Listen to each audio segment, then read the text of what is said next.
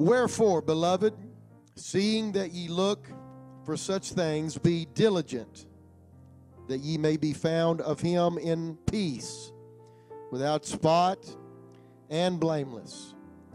And account that the long suffering of the Lord is salvation. I'm going to say, the long suffering of the Lord is salvation.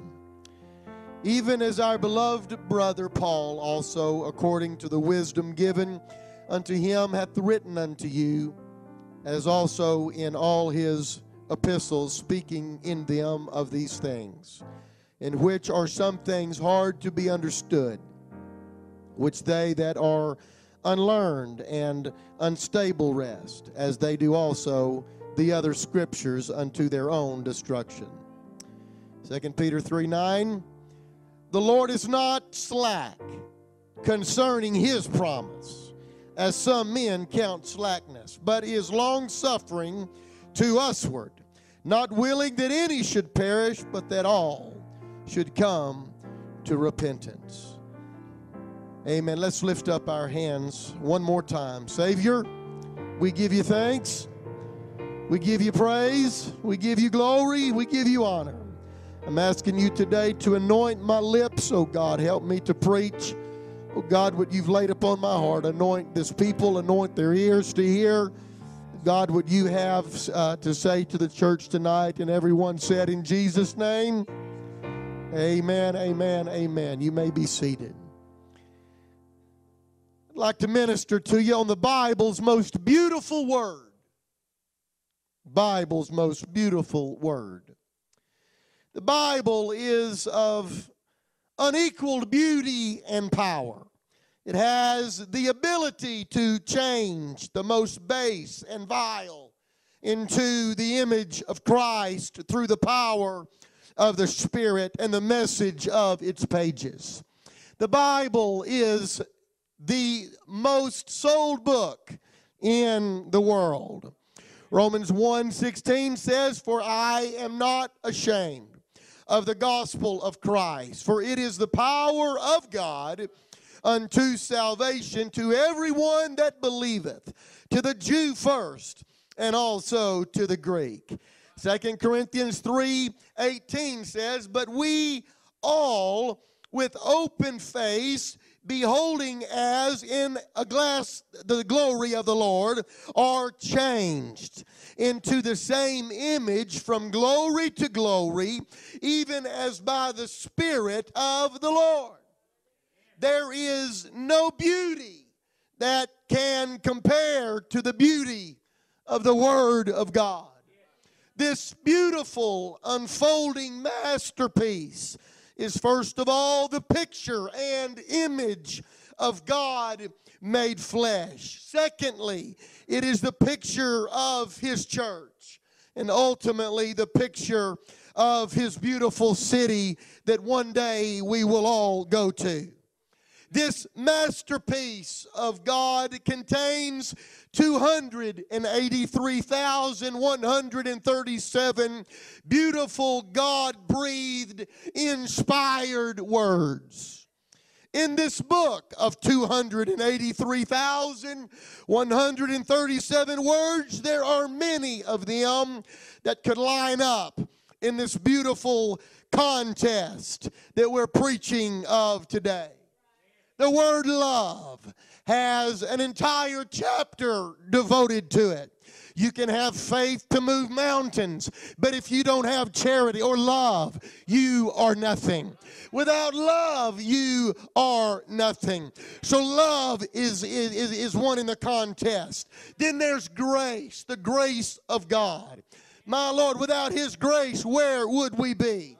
Thank God that He gave His life on Calvary. And thank God that He gives His grace to help me in my times of trouble and in my times when I need Him.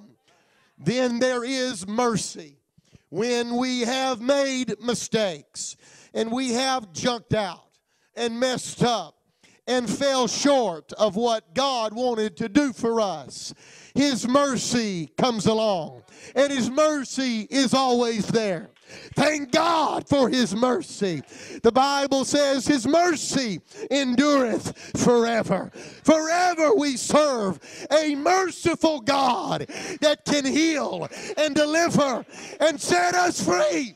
Thank God for his mercy and thank God that it endureth forever. Mercy, love, grace, and faith. Without faith, it is impossible to please him. For he that cometh to God must believe that he is, and that he is a rewarder of them that diligently seek him. Thank God that we can have the faith to move mountains. Thank God that through his faith that he imparts to us through his word, we can have faith to, for healing in our body. Thank God for faith. There's joy that is unspeakable and full of glory. Thank God that when I received the baptism of the Holy Ghost, I went home that night with joy on the inside of me. My God, I wanted to hug my worst enemy. I wanted to give him a big squeeze.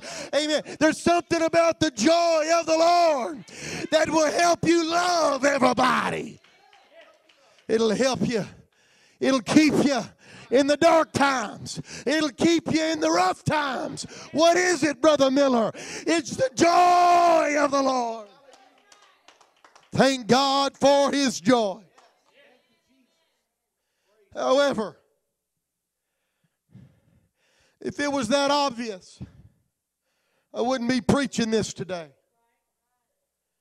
The word of the most exquisite beauty that I believe can be that, uh, that I believe can found uh, demonstrated throughout all the Word of God might surprise you. Patience. I'm going to say patience. Now that, that wasn't a word that you was, you'd probably be expecting from a message like this. Patience is God's plan. God has a plan for every life.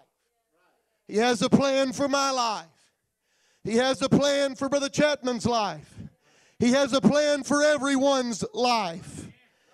Patience.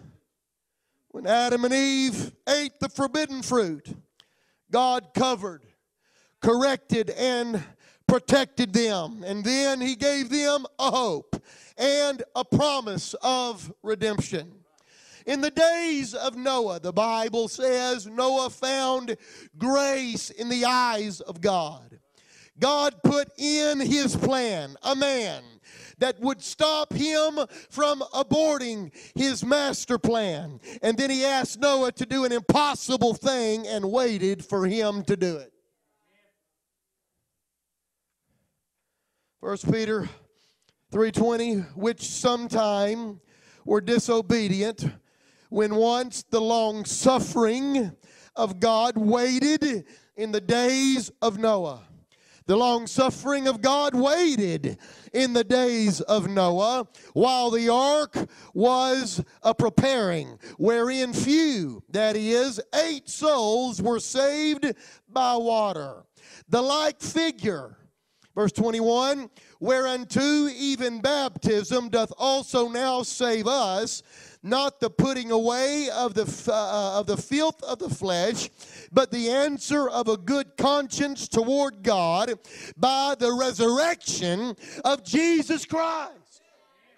The bottom line is God will have a baptized, sanctified church. Someone will be saved. Someone will get sanctified and glorified through him we see this patience of God in his dealing with Abraham. Over the space of almost a hundred years, God kept on uh, going.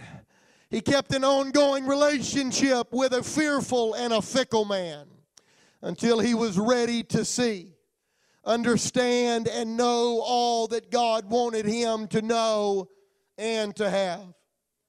Patience to us is the most inconvenient word in the world. We see this word as a delay to our plans. If the, if the pastor says, just be patient and let's see what God will do. We don't like that. We want things to be done now. We want it to happen now. I mean, I'm the same way. If God tells me to wait on something, I don't want it. I don't want to do that. I want to try to make it happen now. Patience is inconvenient to me. It messes with what I've got planned. But patience is the plan for God. For 77 generations, from Adam to Jesus, He worked His plan. When we get weary over a week, a month, or a year, or three years, or we put a time limit on God. Remember, God worked His plan over 4,000 years until Christ. He has been working His plan for over 2,000 years to bring us to the rapture. I don't think God gets frustrated because God has a plan for you and me. We can't put time limits on God. We can't say, if it hadn't happened by then, I quit. I quit praying. I give up. Amen. I've prayed long enough. No, God has a plan, and His plan will take place in His time and in His way.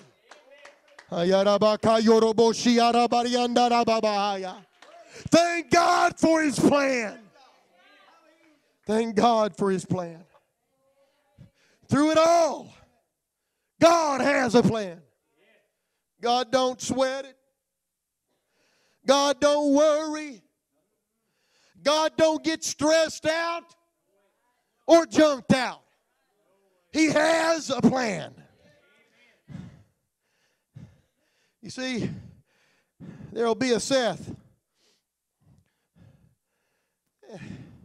And if he gets it wrong, there'll be a Jacob. If David fails, God prevails patiently. So here we are. We are here. And you know what I find in my own life experience? God was here before I got here. And God will be here after I'm gone. I'll never forget in, in Trinidad, we started this church, and man, it grew. We have a picture in the office there of, of uh, a part of the church. It had grown since then. Man, we was having revival people was getting the Holy Ghost. We had purchased a little tent. We was having church in it, and we was also pastoring two other churches and teaching in the Bible school four nights a week. Busy, busy, busy for the work of God. No time for sitting around. And it was time for us to go meet the board uh, and uh, for appointment, full appointment, and go on deputation. And I told my wife, I said, honey, what are we going to do with all these churches? What we, what's going to happen to all that God has done uh, through us since we've been here? Will it all come to nothing? What's going to happen? There's no pastors to take it.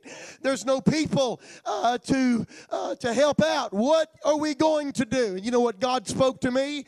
He said these very words: "I was here before you got here, and I'll be here after you're gone."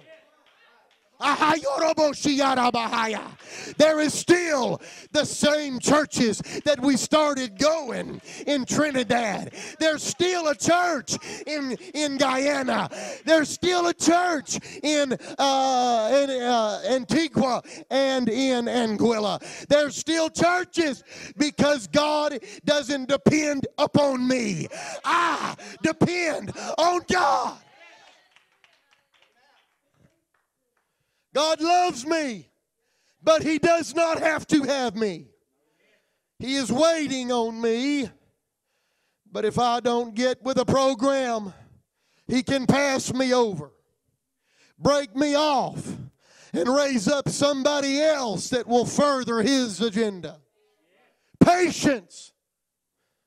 Today, you and I better thank God that up until today, patience is the plan. Got a warning for you, though. Don't take God's patience for acceptance. Don't mistake God's patience for compromise. Don't mistake God's patience for time to just take advantage of Him. God has been waiting for you to get where you are right now. You are here, but He was here before you got here. And now we are here. We are here together. The word of the Lord to you today is Acts 17 and 30. And the times of this ignorance God winked at, but now commandeth all men everywhere to repent. It's time to get right with God. It's time to seek God. Today is the day of salvation. If you will repent, be baptized in Jesus' name, you'll find the forgiveness and washing, and a glorious gift of the Holy Ghost will be imparted to us. Today, now is the time. The way to celebrate patience is by not making God wait any longer. There are 10 I wills for a child of God. One, I celebrate the patience of God by moving forward in faith today. I'm going to do that. Two, I recognize the patience of God by no longer making excuses of why I cannot do it.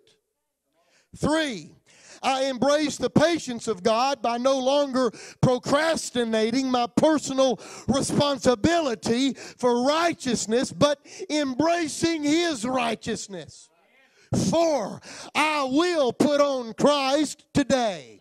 Five, I will walk in faith. Six, I will be filled with the Holy Ghost. Seven, I will be a child of my Heavenly Father by walking back into His house and forever leaving the pig pen of this unrighteous and wicked world behind. Eight, I am coming home. Nine, I'm kissing the world goodbye and saying hello to a brand new me. This can be for the sinner or this can be for the saint. But everybody needs to simply repent every day that we live. 10. I will be born again today. Amen. Come right on, brother. Uh, he wrote a poem. Brother Webb wrote a poem. I'd like for you to come and read that tonight in Jesus' name. I asked him to write a poem for this message, and uh, he sent it to me, and it was uh, right on, divine, perfect will of God for this service tonight. Everybody say, in Jesus' name, we're going to have revival in Midlothian.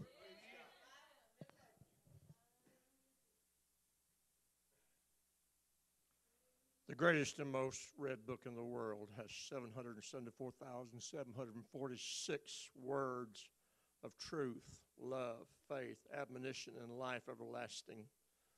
Of all those words, God inspired a man to write to express his love for his creation, to show his love is not just passing.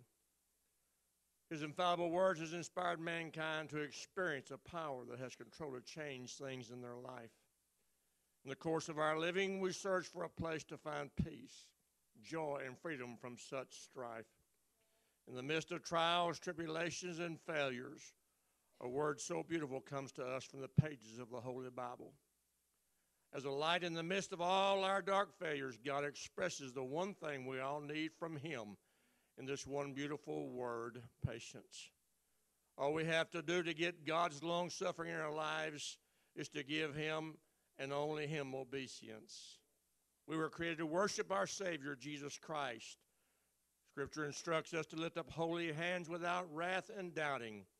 When doubting is gone and pouting ceases, the praises go up, and his glory comes down, then begins the shouting. How beautiful is the word, this word patience, when it is God's patience turned toward all of us. Clap your hands unto the Lord right now. Musicians come. As I look back, I ask myself, how did it happen? God, through his long suffering, waited for me. He waited for me. He waited for me to repent. He waited for me to do it his way.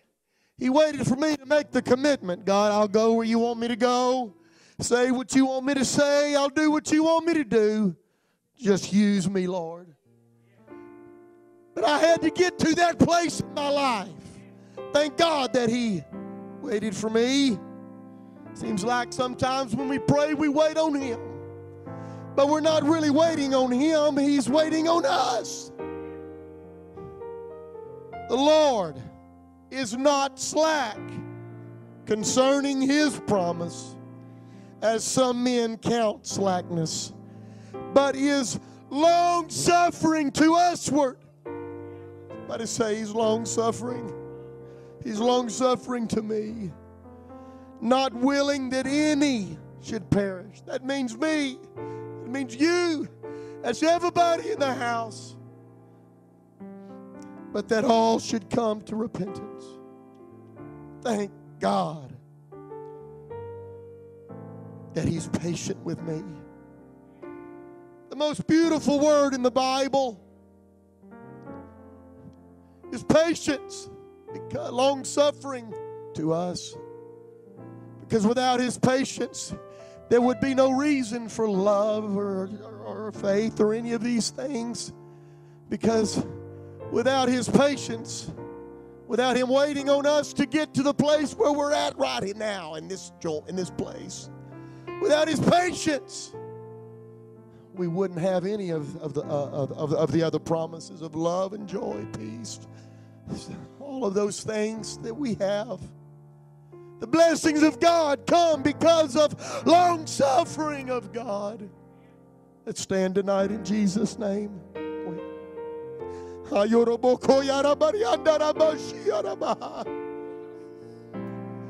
Thank God for his long suffering. Thank God for his patience.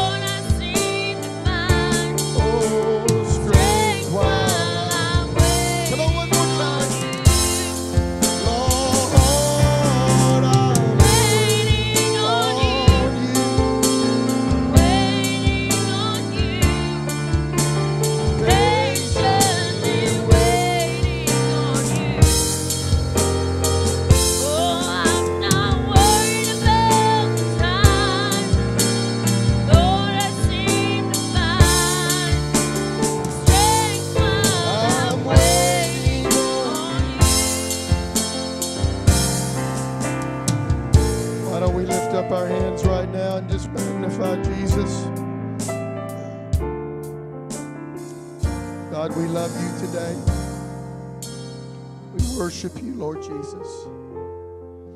We give you the praise, give you the glory, the honor. You're so good. Amen, amen, amen. Amen. Thank you so much for your worship tonight, your help.